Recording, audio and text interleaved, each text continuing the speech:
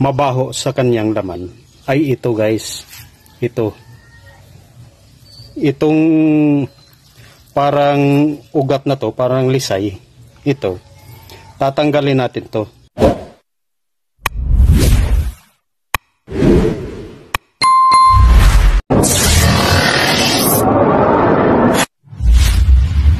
Hi guys, magandang araw sa inyo lahat tungkol sa kung paano magtanggal ng anggo ng karning kambing. Ihanda namin sa piyesta bukas. Ngayon, nandito na yung kambing.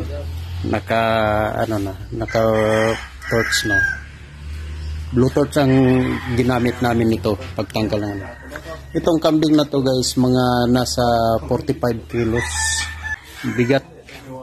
Kinatay na natin tapos tanggalan natin ng anggo, yung anghit. Kasi maraming mga tao na ayaw kumakain ng karning kambing dahil maanggo, maang ang karne niya. Hindi magandang amoy, pangamoy nila.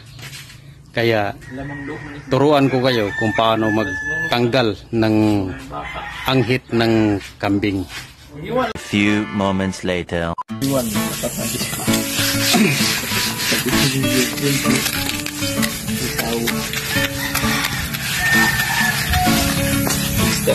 Gamitan natin ng liha para malinis tingnan.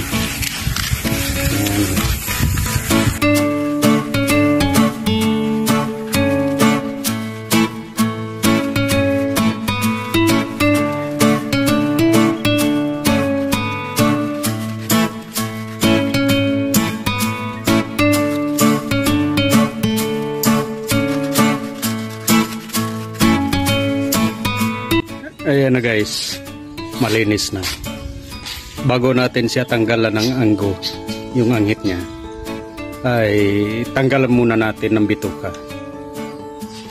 Kasi nandyan sa parting kilikili niya at saka may hita, nandyan yung anghit niya na nakalagay. Natanggalan natin yung bituka niya. Ayan, malinis na. Tatanggalan muna natin ng balat para pangkilawin. Okay. Tanggalin natin yung pangkilawin. Ang pagtanggal nito ng pangkilawin, samahan natin ng laman.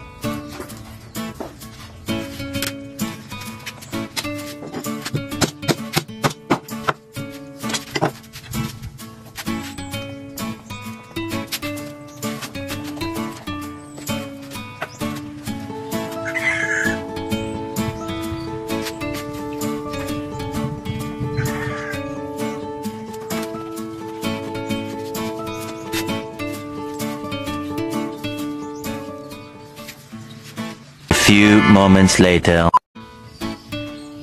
Ito guys, nakuha na natin yung balat niya. Ito yung balat niya. oh. Yan, para pang kilawin. Yan. Sinamahan natin ng laman para masarap.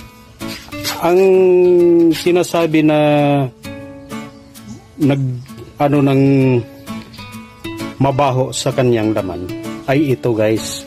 Ito. Itong parang ugat na to, parang lisay. Ito. Tatanggalin natin to. Dahil ito, pag ito'y masama sa pagluto, ito, ito ay nagbibigay ng anggo, mapanghi. Pangit na ang laman pag masama mo yan sa pagluto. Ganon yan dito din sa kabila, guys. Ito, ayan oh. Ito.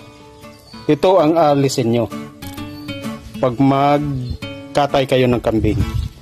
Itong ito, ayan. Ito, tanggalin natin guys. Pag magkatay kayo, madali lang naman ito tanggalin. Yan.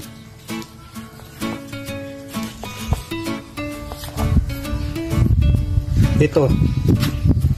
Ito ang maglal, mag-amoy. Magbibigay amoy ng inyong pagluto ng kambing. Kaya hindi niyo magustuhan yung amoy niya dahil mapanghi. Yan, tanggalin talaga yan. Yan.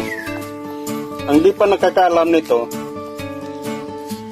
talagang pag magluto sila ng kambing, marami talagang aayaw na. Ayaw nang kumain uli. Yan. Meron pang dalawa rin dito. Nandito sa kabila. Yan, tingnan natin.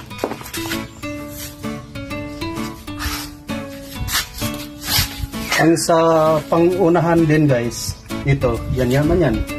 Biakin nyo yan, dito. Tapos, itong tabi na to, ng kanyang palpik ng kanyang balikat, dudukutin nyo to guys. Ganyan. Sa ilalim nito, nandyan. Hmm. Ito. Ito rin, no? Hmm. Iwain natin. Ayan. Parang lisay siya.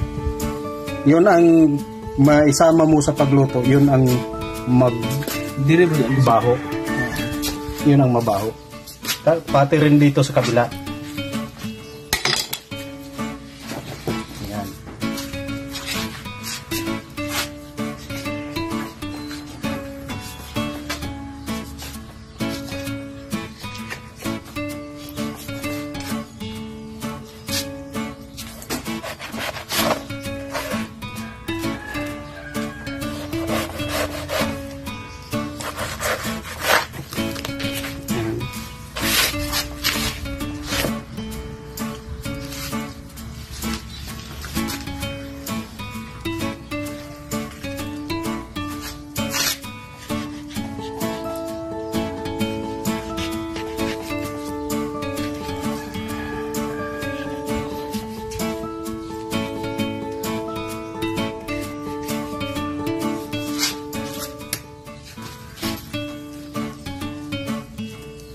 Dito guys, oh. Dukutin nyo yan. Yan. Ayan, oh. Makakapa naman niya.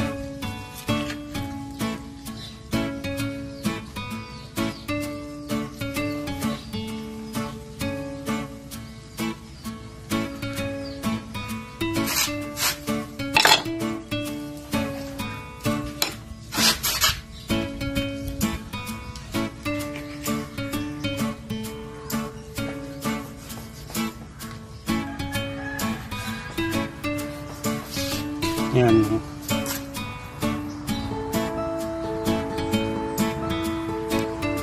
Maliit lang to siya guys pero pag ito'y masama mo sa pagluto, yan. Ayan oh. Pag may sama mo yan sa pagluto, yun ang nakakasira na yung luto. Mabaho. Mm.